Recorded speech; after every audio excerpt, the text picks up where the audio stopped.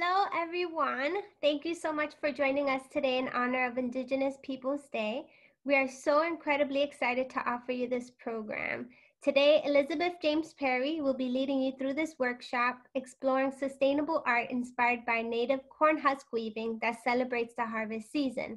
Elizabeth is an enrolled member of the Wampanoag tribe of Gayhead Aquinnah, a multi-medium tradition and contemporary artist. As the owner of original wampum art, Elizabeth makes distinctive Northeast wampum, shell jewelry, porcupine quillwork, and textiles, traditional crafts passed down through generations. She cultivates many of the plants used in natural dyes at her home in Dartmouth, and the rest is wild, wild harvested in a sustainable way. Use this as a time to learn a new skill, have fun, be creative, resourceful, and find ways to educate yourself and others about Indigenous art and culture. If you have any questions during the workshop, just drop them in the chat box and they'll be answered throughout the workshop. Hi, everybody. Um, I'm going to start my presentation today uh, on Indigenous Peoples Day with a quick PowerPoint introducing my work and also introducing the topic, which is cornhusk weaving um, and so let me just queue up my PDF. Um, so my the topic of my presentation today is Wampanoag Arts in Eastern Massachusetts and Rhode Island, traditional corn husk. Um, if you're not familiar with our Northeastern Territory um, in Massachusetts, uh, Wampanoags are in Eastern Mass and Rhode Island, including Martha's Vineyard and Nantucket. My community of Aquinnah is actually on Martha's Vineyard, and I've included a photograph of Noepe, which is our word for Martha's Vineyard, in my slideshow today. Um, those are the cliffs that my community is so well known for that are uniquely multicolored, beautiful clay. Um, there's a lot of really lovely colors in nature that inspires my work. And um, among our traditional weaving materials, we count the corn husk. Um, corn husk is something that you have access to every single year. You raise it in your garden. Uh, corn is a big part of native diet. If you like roasted corn or corn chowder or succotash, you're eating uh, essentially native dishes that go way back for thousands of years in different parts of the country. Um, the corn leaves themselves, as you can see, are quite thick and they're used for weaving. What I'm going to be using today is the corn husk, which is the husk that comes right off of the ear of corn. So honestly, if you're buying corn in the supermarket, you can peel the corn husk yourself rinse it off, lay it on, um, you know, maybe baking sheets or something like that to dry thoroughly. Just turn it over, put it on paper towels maybe. And there you have a ready-made natural weaving material. It's non-toxic, it's accessible, It's um, got a unique texture, and it's also very durable. I have a photograph, um, uh, I, I, should say watercolor of my tribal territory um, in the upper right-hand corner of the slide. So you can see Martha's Vineyard is the island right before uh, Nantucket. Um, so you can see where my community is located. I have some images also of some dyed corn husk that I've done in the past. I've used madder root, I've used sunflower petals, I've used black walnut. There's black walnut in the lower corner of the slide. Um, dyeing the corn husk a beautiful rich brown. So I have some of that to use today along with the natural for a, a nice visual contrast. I do a variety of programs at museums. Um, up until now during the pandemic, a lot of my work has been hands-on. So I've gone to the Evergreen Longhouse um, at Evergreen College and given dye workshop programs for the basketry artists in the Northwest Coast. You can see in the um, upper image that we were using a combination of all sorts of plants and roots and also minerals to you know, modify the colors and make them permanent as well. And here's a close-up of some corn husk weaving. You can see how the stitches look together. You can see how the colors um, come through in the corn husk. You can dye them quite strong colors. Um, generally, I recommend using natural dyes because they're non-toxic. Uh, you know, you can, of course, buy RIT dyes. You could try food coloring. Um, generally, I, I, you know, food coloring is food safe.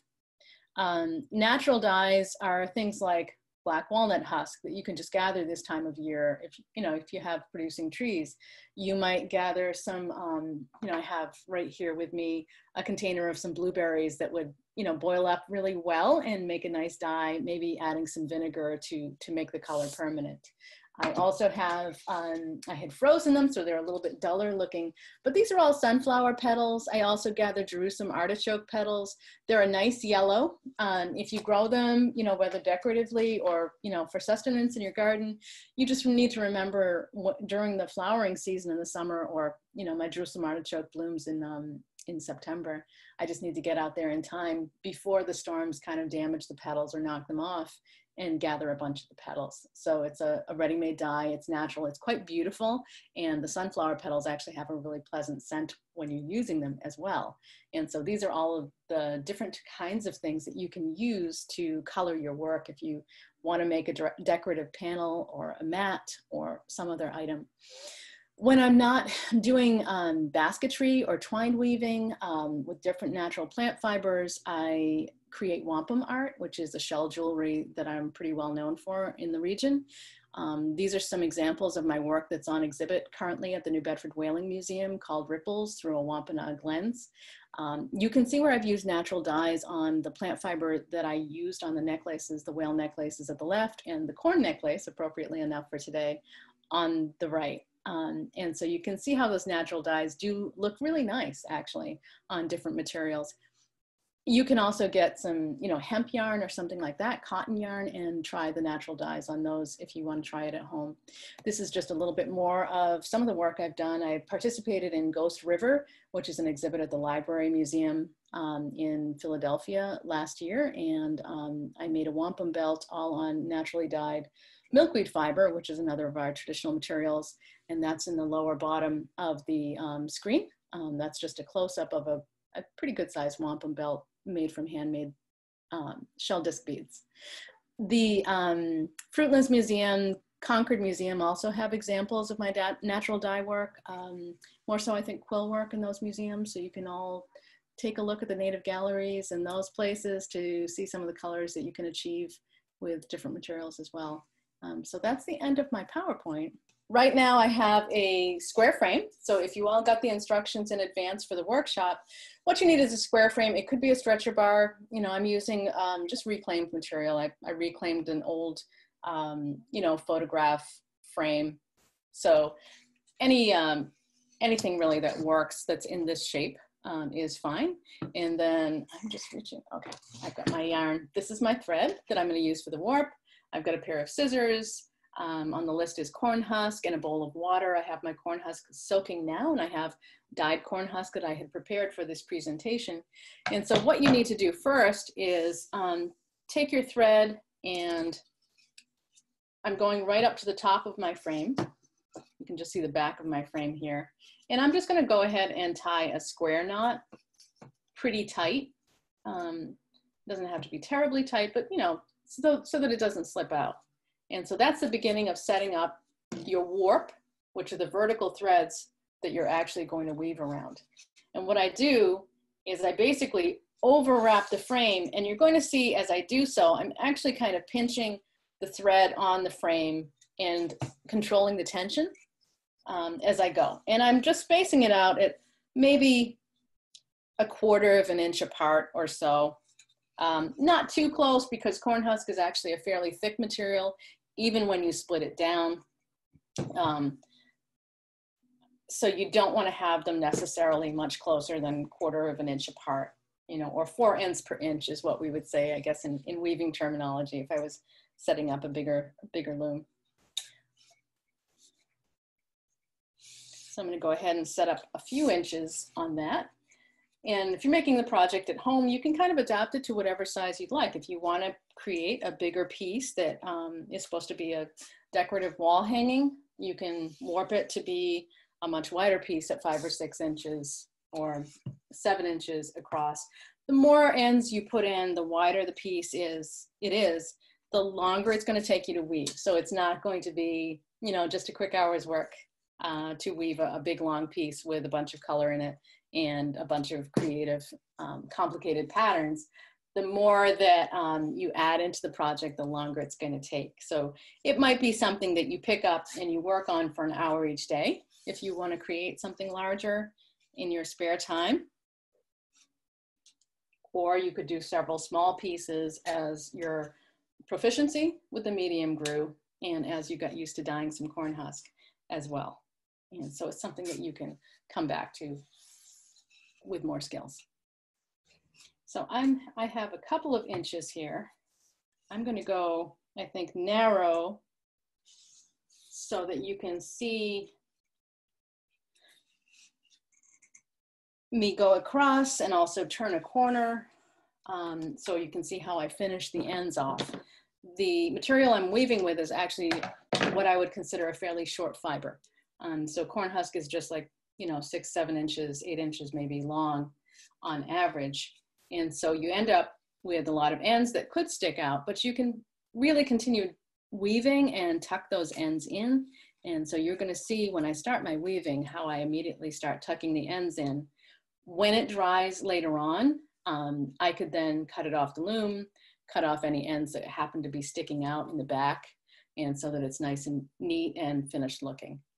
The other thing you could do if you like the ends is let the ends stick out on either side um, of your woven piece and it just becomes more of the, the decorative texture. And so either looks really, really nice. Corn husk is really appealing. Um, let me see if I can do this seasonal material. I'm gonna hang this up behind me. And I want to make sure I'm in the frame. This is always tricky in Zoom. And then I'm going to actually start my, my weaving process. I have my corn husk that I have been soaking for a few minutes. It really just takes, you know, five or 10 minutes to, to soak your corn husk. Um, you take it, put it in the water. Once it's um, totally moistened, it gets quite soft. It goes from basically feeling like cardboard to pretty flexible. You can see it here. It's nice and flexible. I then split it.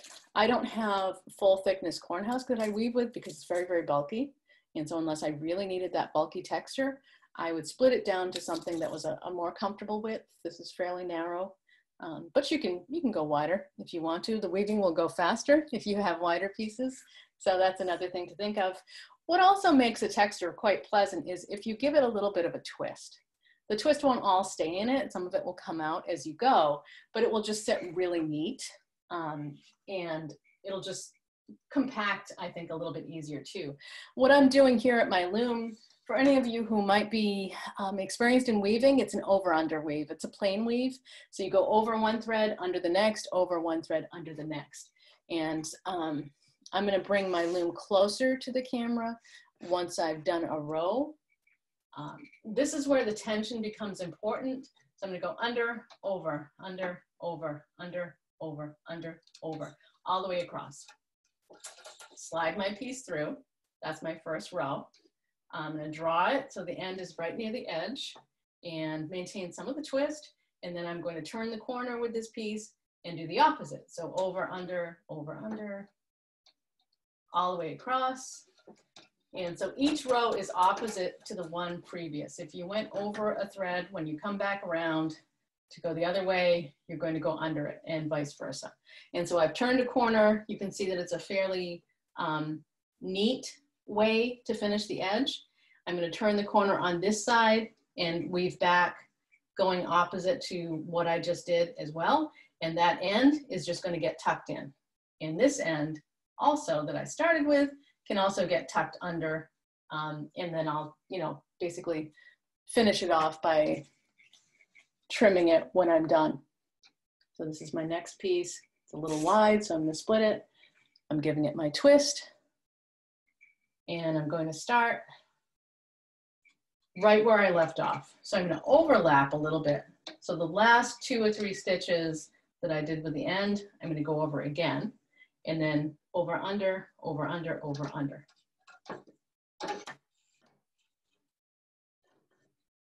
And then I turn the corner, over, under, over, under, over, under, over, under. And then what I'm gonna do at this point, as I weave and I pack it down, I use my fingers to compress it. Um, you could also use a kitchen fork if you've accrued a lot of weaving and you wanna compress it. A kitchen fork is, is a wonderful weaving tool that everybody has in their house. Um, so that is a good one to keep in mind. And I'm gonna reach over and get some of the really nicely colored um, black walnut corn husk that I have here. These leaves are nice and wide.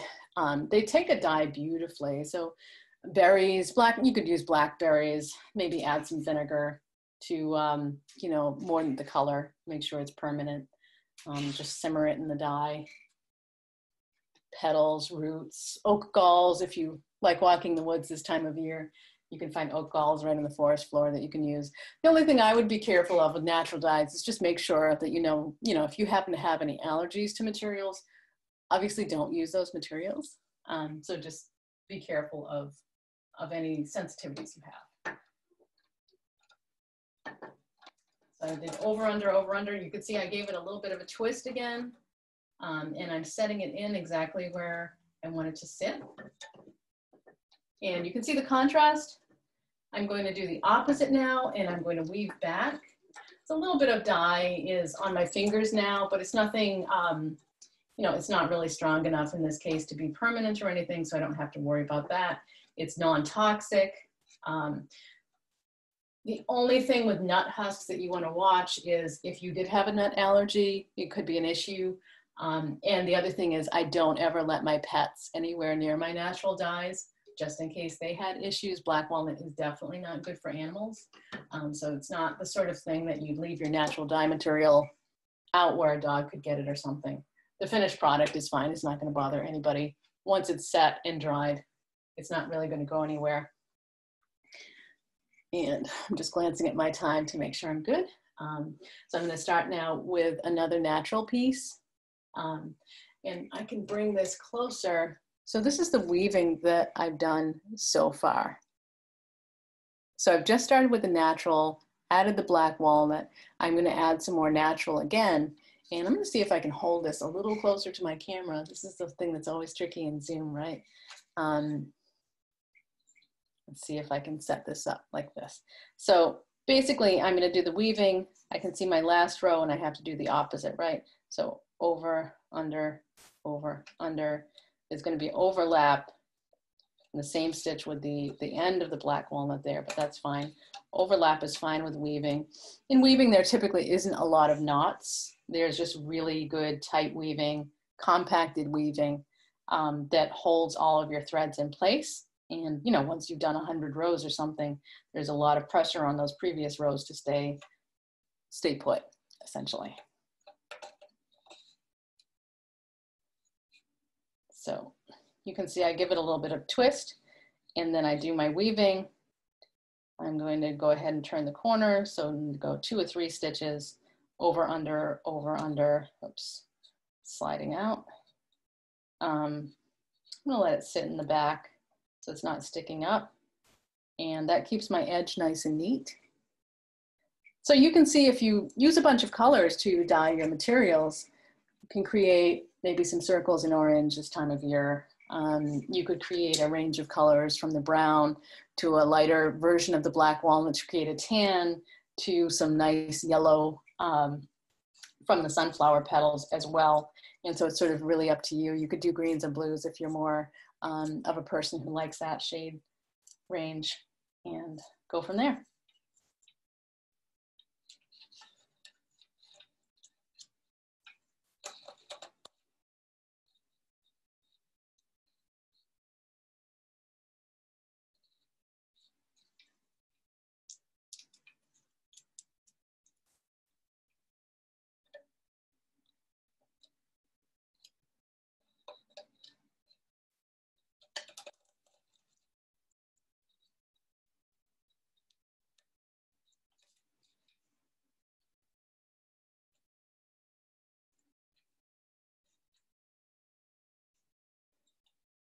And you can see it's starting to shape up and have about um, inch, inch and a half of weaving. You can compress it further. Right now you can see some of the warps, which is some of the, the vertical elements in the weave, which is fine.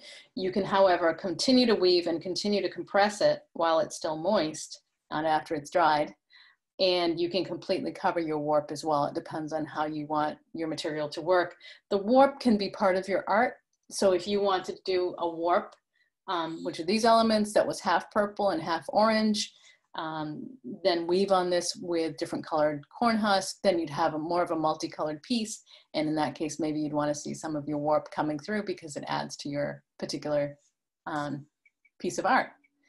And so you can see it's, it's setting up. I can grab some more of the black walnut and I could start doing um, different shapes that I could weave around as well.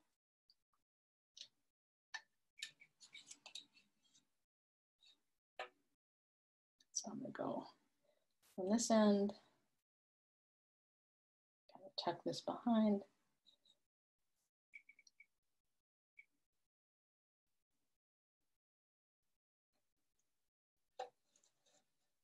Weave the opposite, come back out, and then go back. So I'm just going back and forth in one section, and then I will weave the, the natural color um, to meet it. So there actually will be a little bit of a gap in the weaving if I want, or I could interlock it and create sort of a blending of color at that intersection.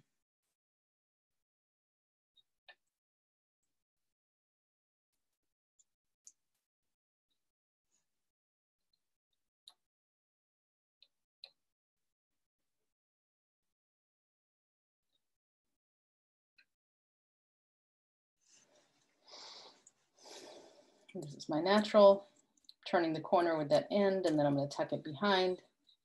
So you can see very little is sticking up. There's just a little end here, but it's not a big deal. I can trim that, I can trim this.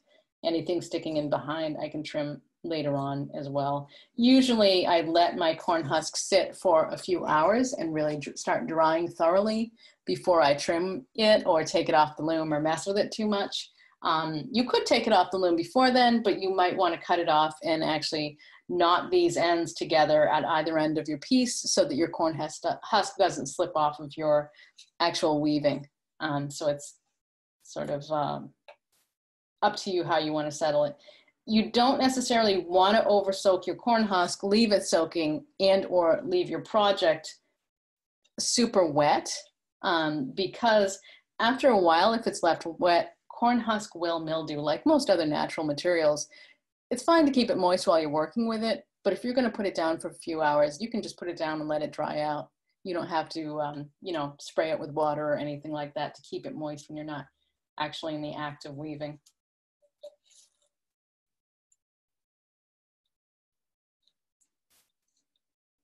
So I wove that to meet the brown. I'm going to weave back out this way.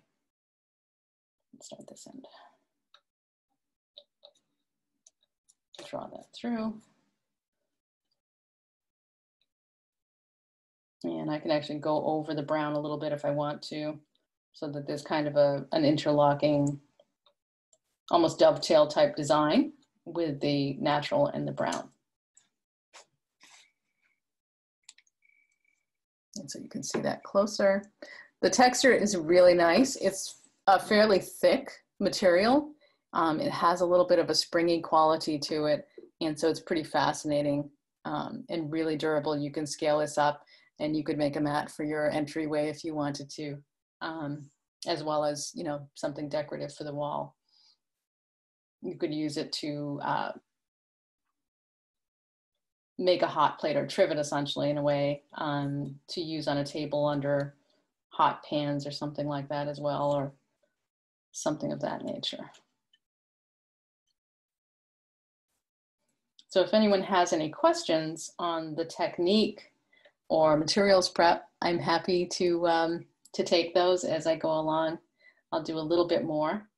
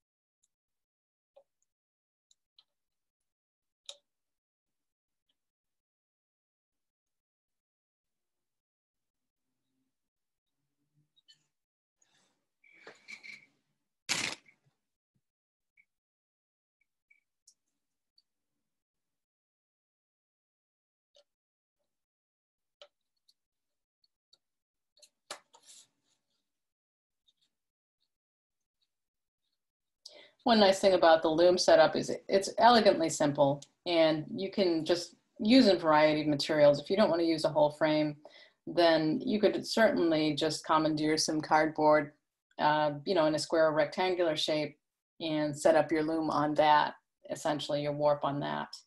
And, um, you know, just use your materials. The only thing about cardboard is it doesn't stand up well to moist materials touching it. So you can expect if you're going to use that, it's just going to be a short, you know, one or two hour class. You finish your piece, maybe cut it off right away and knot it um, so that it doesn't start maybe um, melting or degrading the cardboard and possibly affecting your art. Nice thing about corn husk is it's a renewable material. It's a natural material. Um, you could use an item that you made out of it if you were using it uh, for practical items like basketry or matting. Those kinds of things tend to be useful for a period of time and then they wear out with daily use or seasonal use. And so each year when you're harvesting your corn, you can decide how much of the leaves or how much of the corn husk you want to go ahead and prepare, clean, dry, maybe dye, so that you have a constant supply of new weaving material for, for your containers and things like that that you need for your household.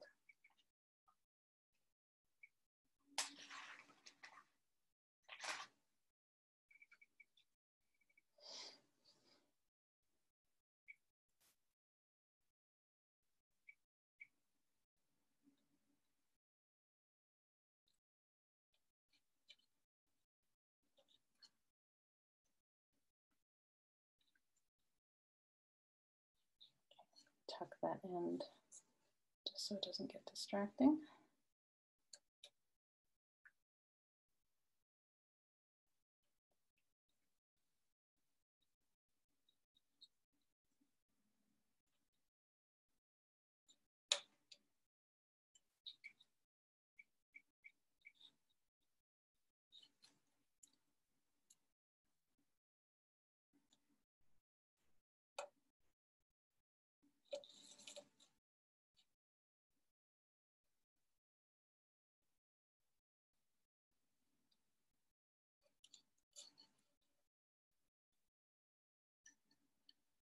Corn husk is interesting too in that depending on the type of corn that you're growing, the corn husk itself might have some natural coloration. There are ears of corn that have um, corn husk that is naturally kind of reddish in color or maroon in color. And so that can add um, a lot of nice natural color to your piece without you having to actually go ahead and dye a portion of it for a contrasting color or you could do a solid piece in the, the natural with no color, or you could do a solid piece in something like that red um, without even having to, to add the step of dyeing it. Other things that you could do just experimentally with this is you could weave a piece, whether or not you had added any of the dyed corn husk, and then experiment with maybe non-toxic markers um, some of my students have taken paints and painted over their weavings afterwards. So there's a pattern independent of the weaving technique um, that they can realize by simply using some, some painting um, over the material.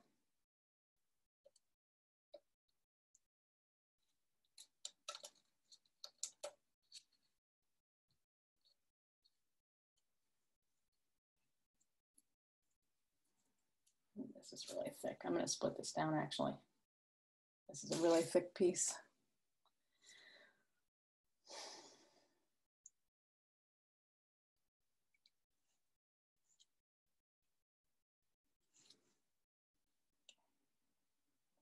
This, draw this down, and then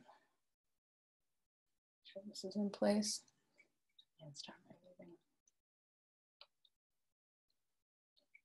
going to almost all the way across with the natural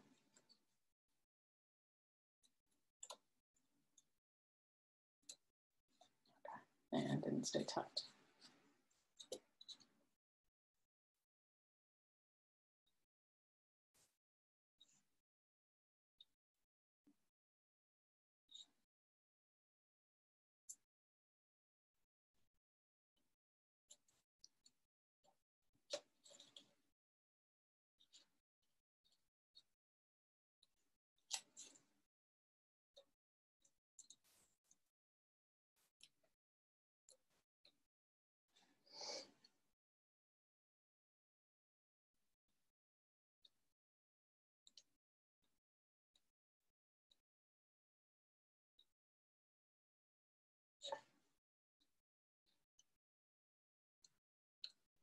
Just compressing it a little bit. So you can see I'm using my fingers.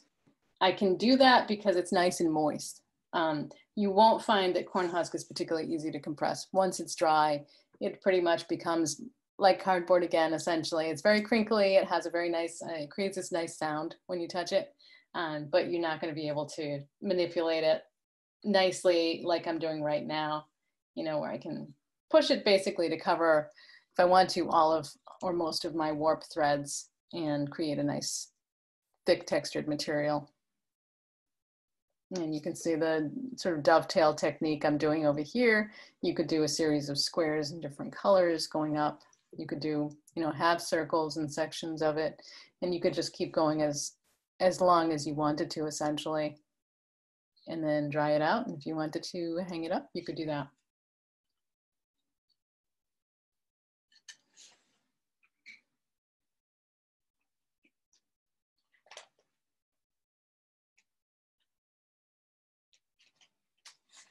Just I'm reaching off camera to uh, to split my corn husk here. Here's some more. give it the little twist. And I think I'll just go all the way across. See how that looks. So I'm just going um, basically over, under, over, under. I think I need to start and then turn the corner to do it well. It's kind of anchored.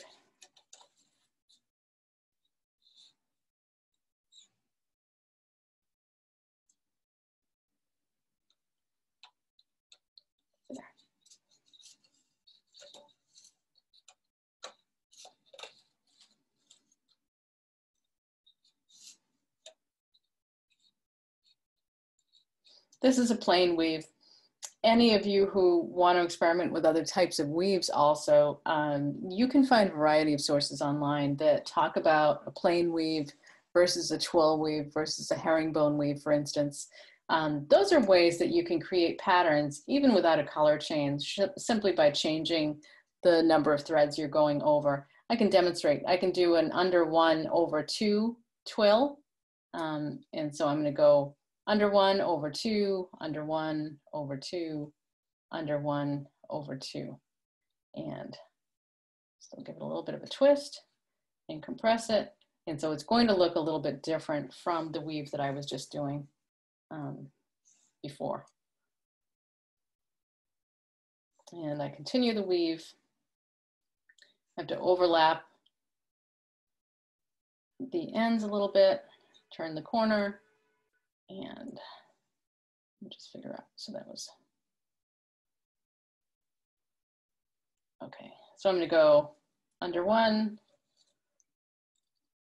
over two, under one, over two, under one. And that's my dog, excuse me. And just do the weaving that way.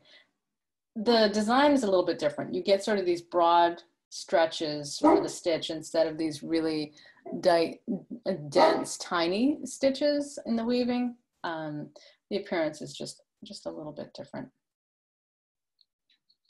We've got over two under one, over two under one, over two, and then compress it.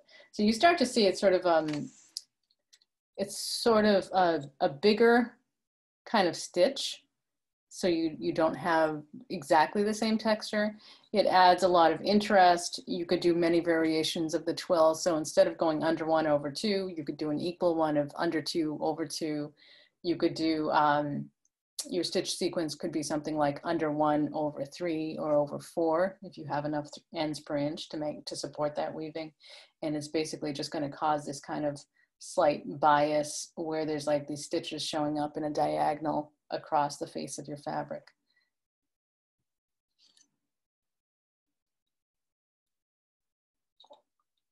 And like the other type of weaving, the plain weaving I was just doing a minute ago, as long as you're taking the time to compress your weaving, and as long as you knot the ends once you cut it off the, the loom, knot the ends close to up close to your weaving on the top and the bottom, it's really not going to come out or go anywhere. Um, so just make sure that you go ahead and take the time to finish off the piece properly.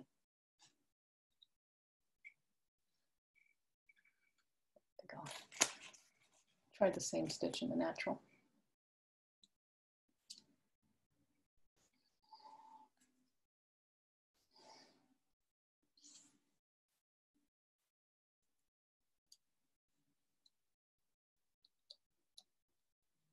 I generally think of this as a seasonal activity, but really if you dry your corn husk and store it, or if you go to the supermarket, you can pretty much buy corn husk year round because people also use it, um, of course, in cuisine. Uh, tamales and things like that are made with um, corn husk.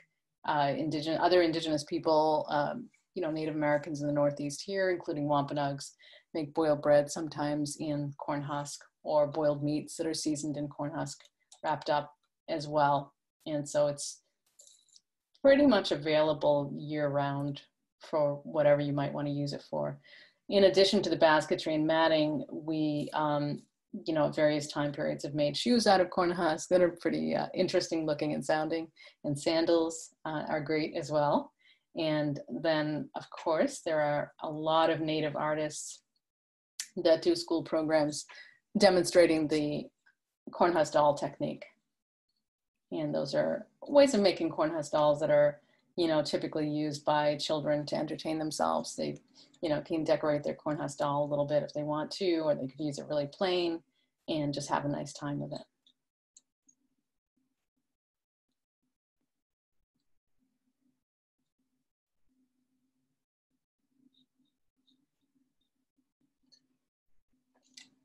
And so you can see how this looks. Um, I'm gonna go ahead and turn this light on in case it makes it a little bit more easy to see some of the details.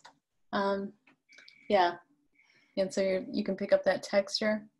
This is just a few couple of inches of weaving, um, but you can continue to add and continue to compress. See me um, compressing it.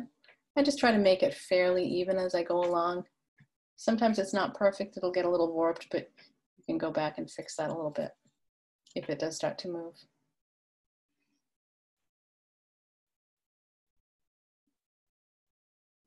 So that's corn husk weaving. So I think I'll take any questions if anybody has any. Um,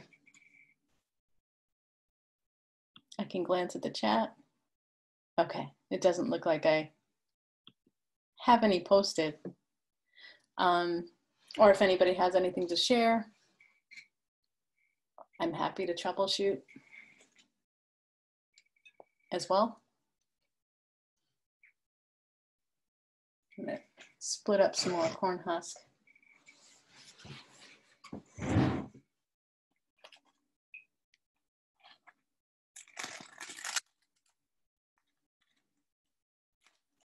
Yeah, and I hope that everyone following along, even whether you had materials or not, um, even if you didn't have materials, could later on gather some and attempt this at home.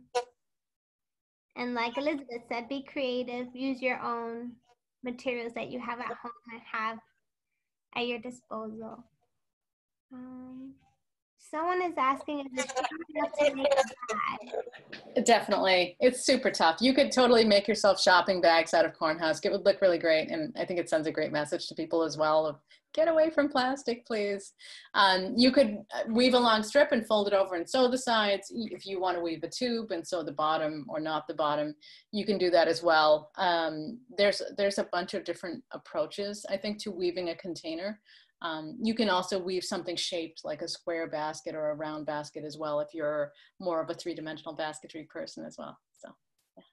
I just want to say thank you so much for offering this to our audience. It's something that was long overdue and is so important and significant. So, um, on behalf of PEM team and PEM staff, I just want to say thank you so much for providing.